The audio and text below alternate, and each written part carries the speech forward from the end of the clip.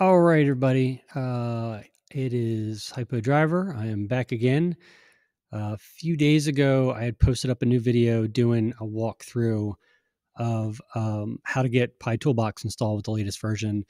And one of the things that motivated me to do was go back and actually update the workbooks that I posted up on HiPo Driver. Um, the ones I used in that video were mm, a year and a half old. Um, one of the nice things that Cosworth has done is with the newer versions of Pi Toolbox, the light version, they've removed some of the restrictions. So, in particular, uh, you can have more of these uh, worksheets down at the bottom um, and uh, also more displays per worksheet. So, uh, what I did is go ahead, went ahead and uh, actually made a new version of these workbooks just for um, V12 3 and above. Uh, you'll see that there's two of them out there. There's a, a V2 workbook, PDR V2 workbook, which is for the, again, the newer car, C8 Corvette, um, the Cadillac Blackwings, and then a PDR1 workbook, which is for C7s, Camaros, uh, and the, the old ATSVs, CTSVs. So um, they're effectively the same. There's a couple small differences in them and some of the math channels. Um, they're in particular the V1 uh, um, workbook has uh, some additional suspension related math channels that we don't have data for in the, the PDR2. Uh, also, there's just some little idiosyncrasies around, again, directionality of certain channels changing and me having to do some things to fix that up. So, we're going to look at the PDR2 workbook today. Um, what I wanted to do here was give you all kind of a quick walkthrough to familiarize you with what is in this uh, workbook. So, hopefully, it'll help you get started. Um, I actually built this sort of from the ground up, taking my kind of workbook that I use the most. Um, I run the, the full on ultra version um, and just basically strip stuff out to get it down to the limit. So um, this has got pretty much everything I'm using day to day to do data analysis. So you're going to need to, just like I showed in the, the getting started video, you're going to need to go through and, you know, these outings will be undefined. You'll need to, you know, right click and replace outing with your own. Uh, one thing you'll notice here is there's two tasks. Um, tasks are basically, you know, these groups of of outings, and what I do is I've got one that's meant for comparing two different outings, or some cases you can actually create two and two load the two same outing blah, twice, and uh, compare two laps from the same outing. This is meant for looking at a single outing. So um, it might be you just want to look at that last outing you did um, and you might want to just look at a single lap or look at all the laps in that outing. So we'll we'll show you that as we go through, but you'll see that different uh, worksheets and different displays will target different tasks to kind of scope what they're looking at. So the first uh, really four tabs are going to be kind of similar to what you've seen me use in the past for doing uh, basically analysis looking for lap time. So this should look pretty familiar if you've seen some of my other videos. And what we've got here is we've got this is the top outing and the compare laps is the bottom outing. And these are just kind of basic measures. So meant to do a quick check when you come off track. You know, how high did the coolant temp get? No, 223. Oil temp was 239. Max RPM. You know, make sure I didn't like zing it up to 8,000 RPMs on a downshift or anything crazy there. But there's a bunch of different measures in here to look at. I'm not going to uh, kind of drill into all of them right now, but gives you kind of a quick way to compare them. The next uh, worksheet is going to be your split times. So uh, here we've got the splits set up and the laps we ran. These are both actually pretty short sessions.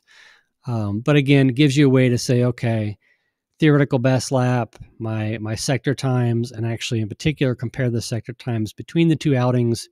So a lot of times what I'll do is I'll take like my my last outing and I'll take my previous best in the same car at the same track and right off the bat i can get kind of a good idea of how i'm faring against my best and where you know sector wise i'm gaining or losing the most time.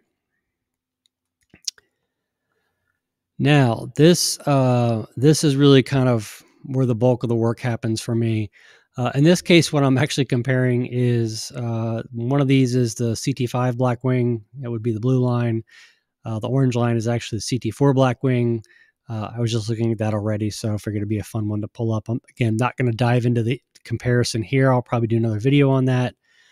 But what you're seeing is Uh, right here, it's accelerator, brake, speed, delta time, and uh, rate of change of delta time. So again, this is that that line that uh, the magnitude of it really gives you a good way to hone in on where you're gaining or losing time. In this case, the the five was faster pretty much everywhere. Um, so so it's kind of a big big uh, lap time change. So uh, down at the bottom, we've got video from each lap. Uh, this weird thing where you see the video kind of dropped out, uh, that is some sort of bug. Sometimes you can just click around and it will come back. The other thing you can do is click on here, Alt 2, go down to selected media, unselect it, go back up to available media, reselect it, and it'll come back. So uh, weird idiosyncrasy. The other thing is make sure you have maintain aspect ratio on for both the videos. So um, the other thing I added here was a little bar chart for oversteer angle. So this has become one of my my favorite uh, handling you know tools. And so what you can do here is actually let's just click down around the apex at turn one, and you can look and see that well the CT5 has got you know about a negative six on that's actual understeer. The CT4 is just a tick over neutral here, but that's pretty good.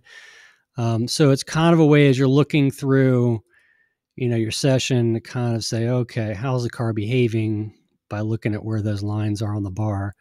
Uh, worth noting that this particular channel doesn't have a value if you're not in a corner. So, like looking at it on the straights, well, generally looking on the street, you won't see anything. What I also did is, like, in order to kind of save uh, worksheets, there's another uh, display over here. So you kind of just grab the line and drag it if you want to look at the other one.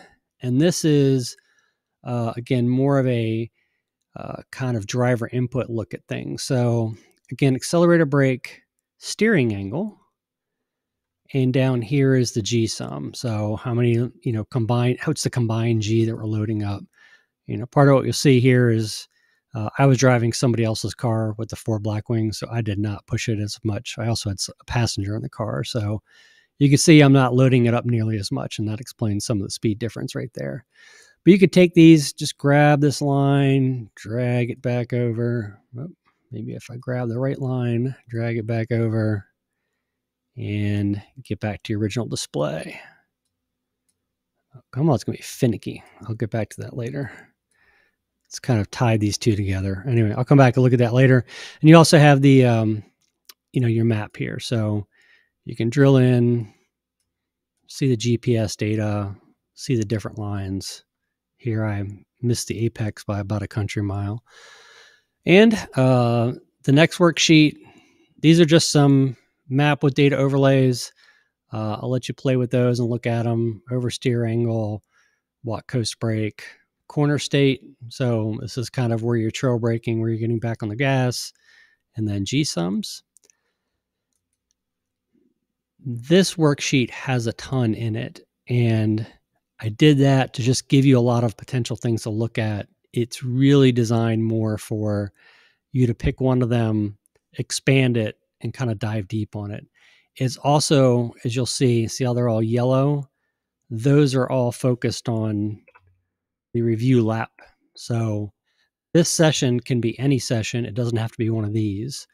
And like I said, typically this is meant to look at a specific session, say while you're there at the track. So um, you have the video, again, helps orient where you are uh, in the data.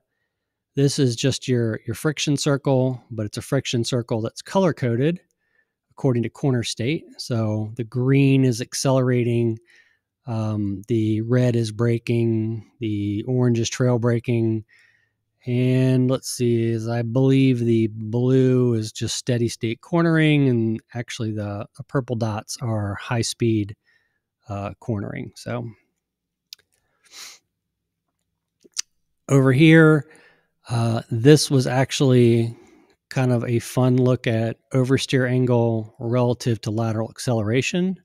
So you've got these two clusters, basically left and right hand turns, also colored by corner state. So you could get an idea of, you know, where am I getting understeer or oversteer? So here you can see like there's a lot of understeer. Um, while accelerating, whereas you've got some oversteer here under trail braking, which is good because usually you can modulate that pretty easily. Um, I'll look at this one. I don't think I'll go through all of them, but this one is really designed to have a bunch of channels that if you need to, you can actually hide some that are just distracting to you. So the purple line here, this is um, effectively the curvature of the corner as you're going through it. So as you see it coming down where it hits a point, that's basically your apex, and it gives you an idea of the shape of the corner. The yellow is lateral G's, so it's going to roughly line up with that. Um, but if you don't want to see that, we'll just take that, for instance, click on corner radius, and we will do H, and we will go to lateral G's, we do H. And now all you're looking at is this is steering and yaw. This is accelerator brake. These two are just lines at positive four and negative four because I know for me, um, kind of exceeding those values on the oversteer channel makes me unhappy. Um, like I don't like the feel of the car. So here we've got a case where we've got a pretty big understeer going into turn one and so that may be something I want to dive into deeper and say, okay, why do I have so much oversteer here, here, I'm sorry, understeer here, here, here.